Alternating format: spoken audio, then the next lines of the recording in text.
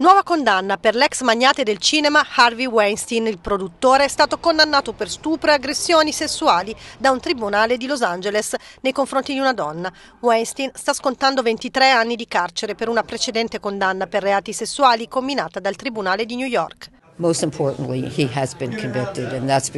La cosa più importante è che sia stato condannato, questo è dovuto al coraggio delle vittime di testimoniare, ha detto l'avvocata della vittima.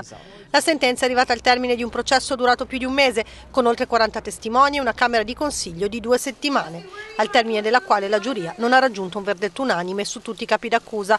Weinstein si è dichiarato non colpevole in entrambi i processi.